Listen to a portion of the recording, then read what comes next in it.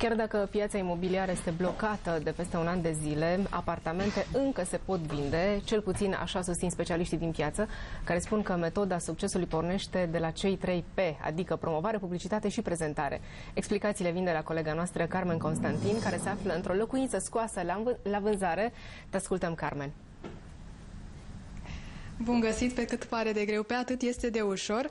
Așa cum ai spus și tu, Mirela, specialiștii se referă la cei trei P când vorbesc de publicitate, promovare, dar și prezentarea locuinței pe care o aveți la vânzare. Tot aici intră și ponturi de negociere rapidă, dar și de stabilire a prețului corect de vânzare.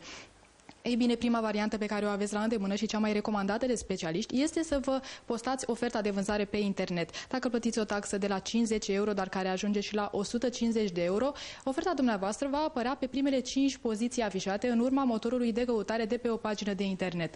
Nu uitați să vă postați oferta și în revistele sau în ziarele specializate, pentru că de obicei toți clienții care caută în prezent o achiziție imobiliară răsfoiesc astfel de reviste și nu în ultimul rând consultați o agenție imobiliară, spun specialiștii și recomandă o agenție imobiliară mare față de mai multe agenții mici pentru că astfel timpul de vânzare poate fi redus de la uh, jumătate de an la o săptămână decât să vă dispersați energia degeaba către mai multe agenții. Ei bine, este recomandat să vă uh, restrânge și să vă puteți să limitați prețul solicitat pentru că uh, trebuie să reflecte o valoare reală a locuinței din piață, chiar dacă în prezent indicii imobiliari sunt puțini și nu aveți la ce să vă raportați, consultați și aici sfaturile unui specialist.